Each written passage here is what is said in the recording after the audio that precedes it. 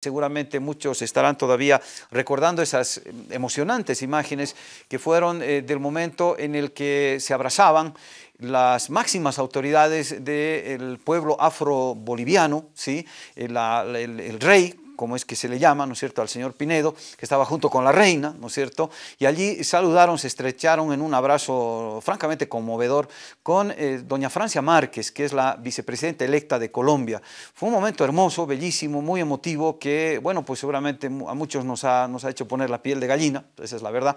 Así que hemos querido darle continuidad un poco a este tema y hablar de lo que ha significado este paso de Francia Márquez por Bolivia, qué huella ha dejado, ¿no es cierto?, qué ha significado y eh, obviamente tendríamos que hacerlo necesariamente con integrantes de la comunidad afro-boliviana. Quiero agradecerle la gentileza que tiene de venir a compartir unos minutitos con nosotros.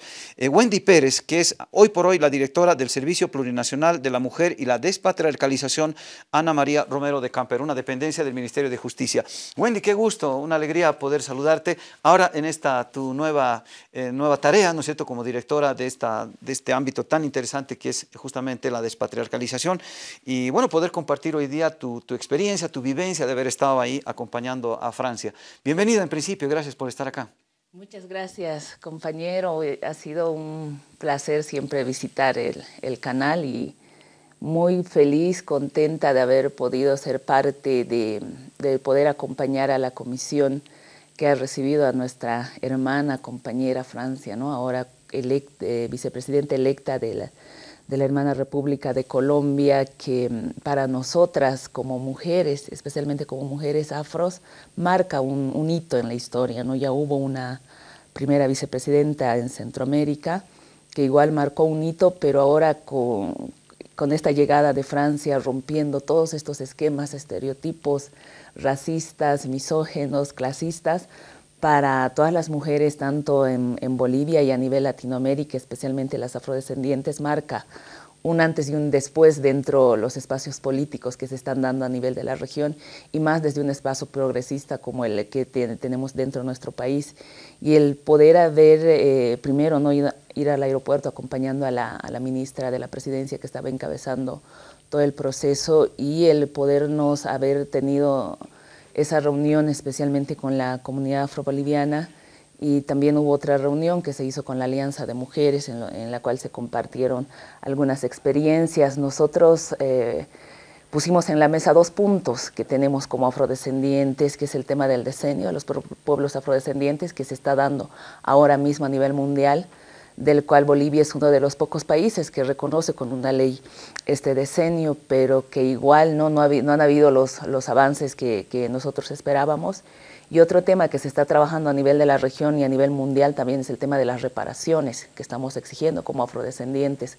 Una reparación que no tenga que ver con dinero, porque nuestros muertos, todo el proceso esclavista que ha tenido no, no, no tiene precio, pero lo que se está exigiendo es que planteemos esta agenda que ya en Cali ya se le ha trabajado, que se repare ese daño que se hizo a la población afrodescendiente con políticas públicas, ¿no? con políticas públicas afirmativas para los pueblos afrodescendientes, para el pueblo afroboliviano, que tenga que, tenga que ver con, esos temas, ¿no? que se reparen ese daño, esa desigualdad que han habido durante generaciones, durante años, que se repare con políticas públicas y, nosotros muy encarecidamente le hemos pedido que ella sea quien pueda encabezar, seguir encabezando todo este tema, ¿no? que, lo podamos seguir trabajando y que este decenio que ya acaba el 2024 se pueda ampliar, porque no hemos visto el, resultado que, que, esperábamos, no ha sido más enunciativo, Em, políticas públicas afirmativas, afirmativas en sí para los pueblos afrodescendientes a nivel Latinoamérica no se han dado mucho, ¿no? Por, los mismos contextos políticos que se han estado dando a nivel de la región. Entonces eso ha, sido uno de los dos puntos que hemos hablado. Igual el tema de la unión que, debe haber entre los pueblos, eh, seguir trabajando en contra del racismo, la discriminación, eliminar el patriarcado. Francia es una firme mujer feminista de los pueblos afrodescendientes, entonces, y ella también ha contado toda la experiencia que ella ha tenido para poder llegar a ese espacio, que no ha sido fácil. ¿no? ¿Qué les ha contado, por ejemplo? Que desde su inicio, ¿no? que para llegar a este espacio, para que ella pueda acceder a, ser vicepresidenta con, con el hermano Petro hubo una serie de acontecimientos que pasaron detrás, había mucha gente, ella decía incluso los mismos colectivos feministas que no habían respaldado de, inicio, digamos. No la querían de entrada. Sí, no la querían de entrada que, fue una lucha dura que ella tuvo que pasar desde, desde que empezó con el tema del activismo por el tema de los recursos naturales, el tema de la defensa de los territorios en Colombia, que, siguen siendo complicados, el que ella haya estado expuesta a, a amenazas incluso de muerte, nos ha contado todo su proceso que, que nosotras como, como, mujeres en nuestro país hemos estado acompañando también, ¿no? desde, desde, desde, toda la articulación que se tiene de organizaciones afros a nivel progresista, a nivel Latinoamérica, que es ARAC también, se ha estado apoyando desde, desde hace más atrás, ¿no? que llega a este espacio, nos ha contado todo el espacio que tuvo que ir por diferentes caminos. Ella, y hasta ella, que se ella, ella, trabajaba, era trabajadora del hogar, si no me falla la, la referencia que tengo. ¿O cuál es ¿De dónde viene ella? Digamos, ella viene de una comunidad que... Del Cauca, ¿no? Que es de, del Cauca, no, no recuerdo específicamente el nombre, que trabajaba, ¿no? que era campesina, que ha ah, trabajado en la mina, después llega a ser trabajadora del hogar. Cuando ya se va a la ciudad, llega a ser trabajadora del hogar, ha sido madre muy joven, madre soltera, después ya ella asume este proceso de, de ser una activista por los derechos de uno de las mujeres y también por los temas del medio ambiente y el tema del territorio que es tan importante en, Colombia y también para nosotros los afrobolivianos. También nosotros le contábamos el tema de la del territorio que nosotros hablamos, si bien se dice que el territorio ancestral de los afrodescendientes es los yungas, pero tampoco hay comunidades específicas porque los yungas igual sigue siendo un tema amplio y seguimos compartiendo eh, el territorio con nuestros hermanos indígenas que lo hacemos de una manera muy cordial, digamos, ¿no? con nuestros hermanos indígenas eh, aymaras y quechuas en, una gran mayoría, pero que es una, una demanda pendiente y un tema pendiente que también tenemos y ella hablaba mucho del territorio que si, si no tenemos un, un territorio, un, un espacio, es eh, complicado y todavía se nos ha seguido complicando el tema ¿no? de, de, hacer el tema de, del tema de la lengua, el tema de, de varios temas que, que, van arraigados desde nuestra constitución con el tema del territorio. Entonces, por eso habíamos estado trabajando el tema de que igual si hay las... Eh, las, autonomías indígenas originarias, campesinas, nosotros también necesitamos una autonomía indígena, eh, una autonomía afrodescendiente para nuestro pueblo. Entonces hay un proceso de trabajo que todavía lo venimos realizando dentro de, nuestro Estado plurinacional que se ha iniciado con nuestro hermano Evo Morales, que, que, se ha dado esta apertura, el que también hayan habido representantes afros dentro de la Asamblea en su debido momento, que ahora también dentro de los espacios públicos se está abriendo estos espacios, entonces sigue siendo un tema de trabajo. Y vamos a seguir trabajando, va a haber una, una constante comunicación con su equipo que, que también ha estado acompañando compañeros que habíamos conocido ya en otros espacios que, que se ha estado compartiendo por este tema de, que estamos trabajando el tema de las reparaciones, que es un, tema muy urgente. Wendy, te pregunto, tú, haces, una descripción de la situación de la comunidad afro-boliviana, el pueblo afro-boliviano aquí en, nuestro país. Eh, ¿Qué te ha contado, qué les ha contado, qué conoces tú? Porque eres una persona que estás hace muchísimos años trabajando en este tema como activista, como defensora, etcétera. Digo, eh, ¿cuál es la situación de los afro en Colombia, por ejemplo? ¿Qué porcentaje de la población representan y cómo la pasan?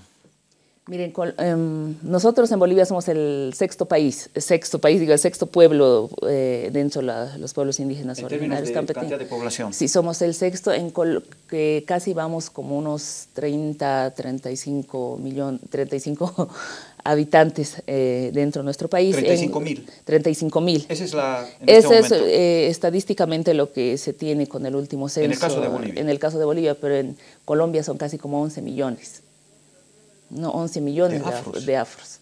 que según las estadísticas que ellos tienen son una población mayoritaria, pero que por todos los procesos que, que ellos han tenido, no han tenido un gobierno progresista ellos nunca, entonces la población afro está, el estigma que se tiene en Colombia y el tema de sacarlos de sus territorios por todo eh, el tema minero, en la cual Francia ha sido una activista contundente en ese tema y el tema de que la población esté sumergida en el tema de la pobreza, en temas delincuenciales, el tema, el acceso a la educación es, es fuerte, ¿no? Es decir, una, diríamos en Colombia, una población mayoritaria, ¿no es cierto?, muy grande, ahorita no tengo el dato de cuánta población hay en Colombia, pero imagínate tú, 11 millones debe ser seguramente un alto porcentaje de la población. Es un eh, alto porcentaje igual que la población pero, indígena. Pero además, eh, invisibilizados, ¿no es cierto?, o sea, como diríamos acá, ninguneados, ¿no es cierto?, olvidados, eh, nunca como, diríamos, protagonistas de las políticas públicas, digamos, un gobierno que, o gobiernos sucesivos que lamentablemente descuidaron a esta población casi al nivel de invisibilizarla. ¿no? Ese es un poco el cuadro de, de, los afros en, en, el caso de Colombia. Eh, en el caso de Colombia y en varios países de Latinoamérica también, ¿no? Y que, que, es, eh, que hay un tema de invisibilización, de que generalmente las políticas públicas van orientadas a un macro, pero no se ve que esta población durante años ha sido segregada, digamos, ¿no? Y, y, relegada, muchas sacadas de sus territorios con engaños y tienes que emigrar a un espacio, a, ciudades grandes donde no tienes acceso a, educación, no tienes acceso a vivienda, no tienes acceso a luz y agua. Entonces, en esas condiciones, obviamente, que va a haber un tema de que la gente se va por otros caminos. Marginalidad. Marginalidad.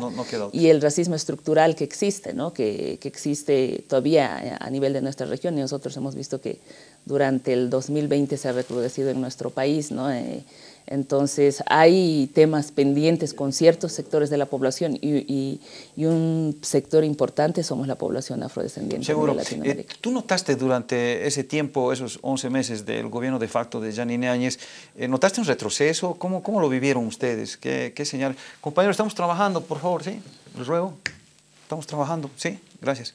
Hubo... Eh, ¿cómo, ¿Cómo lo vivieron? ¿Cómo lo sintieron ustedes? Hubo un retroceso total porque si bien eh, se han hecho políticas afirmativas durante el proceso de cambio, durante la presencia de nuestro hermano Evo Morales, en el, eh, durante el quiebre constitucional se, ha, retrocedido, ¿no? De frente han habido cosas que, que, desde mi percepción, es una percepción personal, se han guardado toda esa rabia que, que tenían y lo han sacado, ¿no? Han, tenido, han, han visto el espacio, el, agarrar a a insultar a mujeres indígenas de pollera. Nosotros hemos tenido una compañera que ha estado en la cárcel por todo el tema que se, que se ha tenido con Adepcoca y todo el tema que ha estado, igual eh, en la cárcel que se ha hecho el aporte, el, el cortarle el pelo a una mujer por ser autoridad y por pertenecer a un partido político que es la mayoría dentro de nuestro Estado, el no respetar los derechos y las condiciones de, de muchas mujeres ha sido complicado. Yo, yo me he resguardado y me he tenido que, que, regresar a mi comunidad, a la cual adoro mucho y me siento muy orgullosa de venir de una comunidad campesina y de una familia afro que, que igual son, mis papás son cocaleros, ¿no? Y yo, yo soy descendiente de ese espacio y sigo siendo campesina y sigo, voy a seguir siendo cocalera, pero se ha retrocedido bastante en todos los temas de derecho. No se podría haber vulnerado los derechos de mujeres que tenían el derecho de poder protestar, de poder salir a caminar por las calles. A título de pandemia nos han encerrado mucho con nuestros agresores, no se han cortado todos los servicios de atención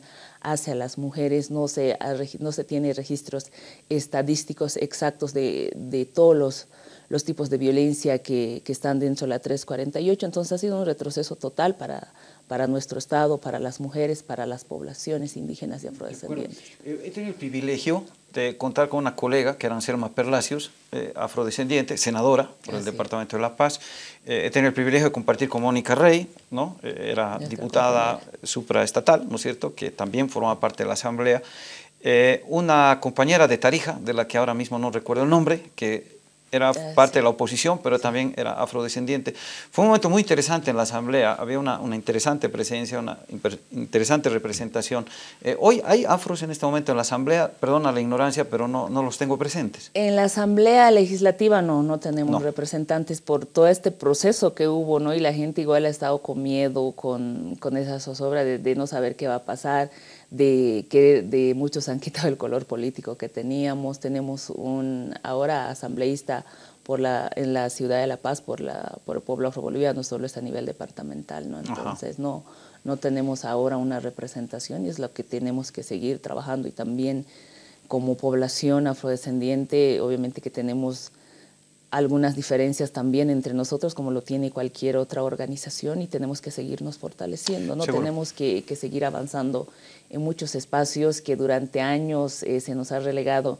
Incluso decíamos que nosotros nos hemos crecido con todo el proceso que se tiene dentro de los niveles educativos con, con ciertas miradas de ciertos personajes que no nos identificaban ¿no? que no nos identificábamos, no había un representante afro dentro de la escuela que no te digan eres esclavo y todavía se, se, se mal utilizada la palabra porque nuestros ancestros han sido esclavizados, no han sido esclavos porque ellos querían, ¿no? y se, obviamente que se, se está trabajando la currícula regionalizada y cuando una de las compañeras ese día dijo nosotros, los niños que están en la escuela van a tener un referente de decir, afirmativo para nuestra población, como lo ha sido Martin Luther King o como lo ha sido Angela Davis, que lo es hasta ahora, Marely Franco, entre otras mujeres, que en, que en, la escuela se muestre que hay una mujer afrodescendiente o personajes afrodescendientes que pueden llegar a ejercer estos espacios que durante generaciones han sido negadas y que muchas veces por todo el proceso colonial que hemos tenido patriarcal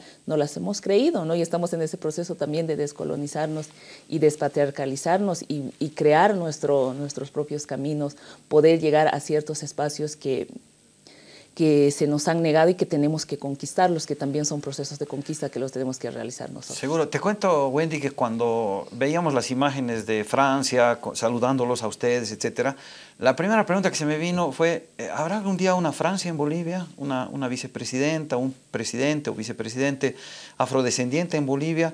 Eh, evidentemente, en términos porcentuales, digamos, la, representación, la cantidad de gente, digamos, en Colombia, tú lo decías, 11 millones, eh, dirías, en efecto, ¿no? 11 millones tienen pues una, una fuerza, incluso que voten 11 millones por una persona le va a dar una fuerza tremenda, pero en el caso de Bolivia no hay esa misma proporción, diríamos, ¿no es cierto? La población afro es bastante menor pero digo, en términos de, participación, en términos de espacios, eh, diríamos, de, legitimidad, ¿no es cierto?, de reivindicación, eh, de, ¿cómo te podría decir? A ver, de saldar cuentas con historias que lamentablemente aún no han sido saldadas.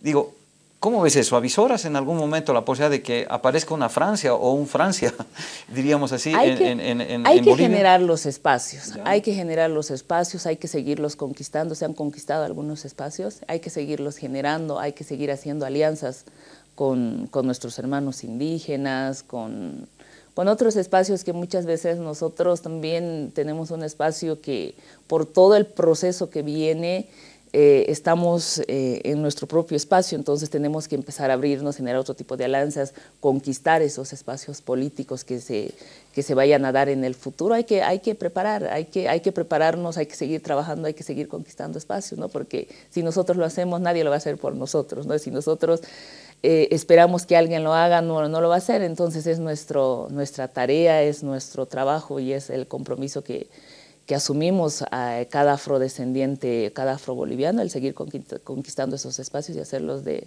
de, una buena manera, ¿no? Siempre las alianzas para que Francia llegue a este espacio han habido varias alianzas, entonces nosotros también tenemos que construir este espacio, tenemos que generar los espacios, las alianzas para que esperemos que en un futuro se pueda dar, ¿no? Ojalá que sí, sería, fantástico. Eh, Wendy, tú estuviste la, tuviste la posibilidad de acercarte a Francia, hablar con ella, estuviste compartiendo unos minutitos, así, hablaste cosas, ¿qué, qué hablaste con ella? ¿Qué te dijo? ¿Qué le dijiste? O, prefieres no contarlo, no sé. Yo la, la saludé en, en, el aeropuerto, como decía, con en la comisión acompañando a la ministra de la presidencia, le di la bienvenida, estaban un poquito afectados por el tema de la altura, igual se llevó, tomamos las previsiones de llevar matecito de coca, todo el tema del Chipile, y hablamos y ella me dijo que, que hay que generar estos espacios, que a nivel Latinoamérica tenemos que replantear toda esta agenda que, que se ha estado trabajando desde los diferentes espacios, generar una agenda de mujeres afrodescendientes, hay una agenda que está pendiente, la agenda de cuidados de las mujeres afros a nivel Latinoamérica, entonces hay que generar esas agendas, tenemos que hacerlas tenemos que generar esas condiciones para que esas políticas públicas vayan dándose dentro de los estados, ¿no? Eso es lo que, lo que hablamos y, obviamente repito el tema de las, de las reparaciones que habíamos pedido que ya que ya puedas encabezar todo este proceso. ¿no? Seguro, algo que me impresionó fue, justamente hace un ratito veíamos la imagen de, de Francia con el expresidente Evo Morales,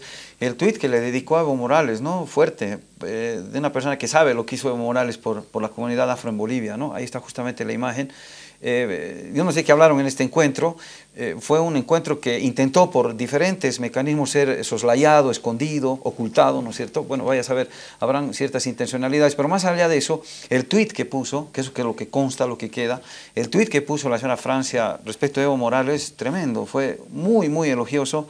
No sé si lo viste, si lo leíste. Sí, es que hay que, yo creo que eh, nuestro hermano Evo ha, sido, ha estado acompañando desde antes a nuestra hermana Francia y algo que, se reconoce en Bolivia es que a partir del proceso de cambio se visibiliza a los pueblos y no se ha dejado invisibilizar al pueblo afroboliviano con el tema de que dentro del partido del movimiento al socialismo se incluye a las compañeras que, que, tú mismo mencionabas, ¿no? a Mónica, Anselma, en su momento también ha estado Jorge, que han sido parte del, del movimiento al socialismo y bueno, se reconoce eso y, y lo que también se ha ido avanzando.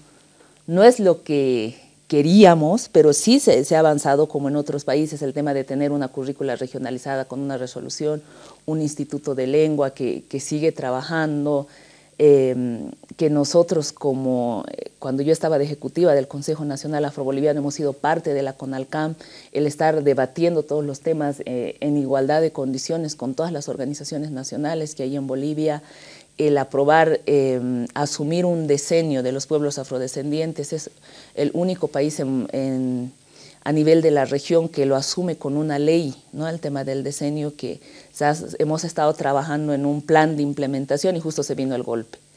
¿no? Justo se vino el golpe, el plan de implementación está ahí, está en manos del el Ministerio de Cultura, y aparte que el plan estaba a cargo del Ministerio de Culturas y desaparece el Ministerio de Culturas.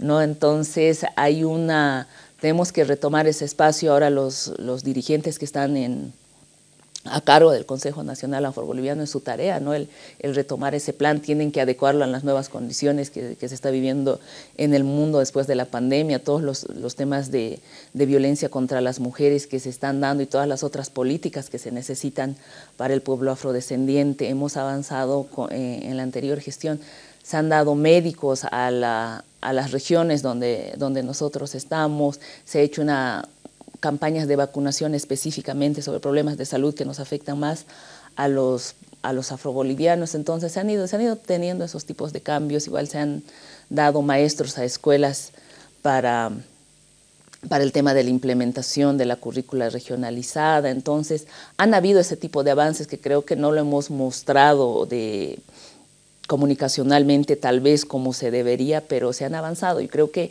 ella conoce todo este, este proceso que se ha hecho igual desde nuestra hermana Mónica Rey como estaba como diputada supraestatal en varios en el Parlamento andino se incluyó a la, toda la población afrodescendiente. Entonces han, han, han, sido todos estos avances que se han dado a, a, nivel de la región que creo que en otros países no se han dado a, de, de, esa manera, que igual se han estado exigiendo en varios otros espacios internacionales que hay.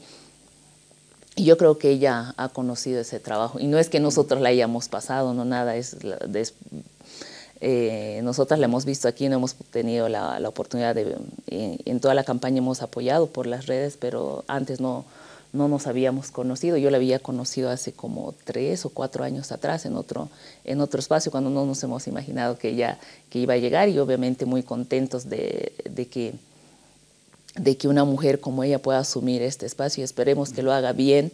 Y sabemos que también es una carga que, que, ella está asumiendo que es realmente pesada, porque también es poner, decir, no hemos votado por ella, es afrodescendiente, es negra, a ver, veremos cómo lo hace, ¿no? Hay gente de mano cruzada que debe estar esperando cómo lo va a hacer y, al primer error que haya ves que no tienen la capacidad los, los afros de, de, poder hacer las cosas como en, su, en su momento se ha hecho con nuestro hermano Evo y como en todo el tiempo también nos tienen en la palestra nosotros, de decir, ¿no? Eh, tanto han exigido estar en lugares a ver cómo lo hacen. Un permanente escrutinio, el doble por ser mujer, el doble. por ser afro, o el triple quizás en este caso. El triple y por ser pobre también. Además, obviamente, sin, sin duda, elementos terribles. Fíjate cómo habrá sido de exitoso ese intento o ese descuido de nuestras autoridades en Bolivia, que cuando tú como autoridad boliviana ibas a algún evento internacional y te preguntaban, no puedo creer que en Bolivia hayan afros. Y les tenías que mostrar fotos y decir, no, miren, acá está, tienen estas danzas, viven en estos lugares. La gente no creía, digo la gente, eh, argentinos, chilenos, ¿no? gente que no, no, no conoce la realidad boliviana, pero ignoraban por completo que habían afrodescendientes en Bolivia. Eso te da la pauta, reitero, de, de, los escondidos que estaban, lamentablemente. Eh, quiero agradecerte muchísimo, Wendy, ha sido realmente un placer volver a, saludarte. Tienes acá un espacio, el momento que quieras, tanto como autoridad o como representante de, del pueblo, ¿no es cierto? Nosotros tenemos acá la mejor predisposición, como siempre lo hemos tenido. Nos encantará un día entrevistarlo al rey, ¿sí? Eh, está, está, espero, con la salud fuerte, ¿no es cierto?, que tengamos rey para rato, ¿verdad? Nos va a encantar hablar con él. Lo hicimos ya una vez, en una ocasión, hace muchos años, tuvimos la posibilidad de hablar con él y con otros miembros de la, de la, del pueblo, así que nos va a encantar repetir esas, esas experiencias. Mm. ¿Tienes acá un espacio? no, pues muchas, las veces que sea necesario. Muchas gracias por, por darnos el espacio y por poder compartir, obviamente que con los representantes ahora del pueblo afroboliviano electos en Congreso se va a poder hacer todos los contactos para poder entrevistarlo a, tío Julio con su esposa, a todos los, los, otros representantes que se tiene dentro de la comunidad y el, el siempre seguir avanzando ¿no? y el eh, seguir generando espacios afirmativos y el seguir visibilizando nuestra cultura, como tú lo decías, es, es bien irónico. A ratos a mí me tocó salir, eh, ir a hacer una representación eh, del Estado a un tema de la CIM a Panamá. Y era complicado que en el aeropuerto, ¿no? Igual presentaba mi pasaporte y lo miraban tres veces. ¿Usted es boliviana? Sí, soy boliviana, ¿no? Y los afros estamos. Eh, estamos en Bolivia, obviamente que tenemos que visibilizarnos un poco más y es una, una tarea que hay que hacerlo todos los días. Seguro que sí. Estuvo con nosotros Wendy Pérez, que es la directora del Servicio Plurinacional de la Mujer y la Despatriarcalización, Ana María Romero, así es como se llama esta, esta instancia, dentro del Ministerio de Justicia. Un cariño grande a todo el pueblo afro, nuestro respeto y nuestra admiración, como siempre. ¿sí? Muchas gracias. Todo lo mejor. Gracias, Wendy. Gracias. Un cariño grande.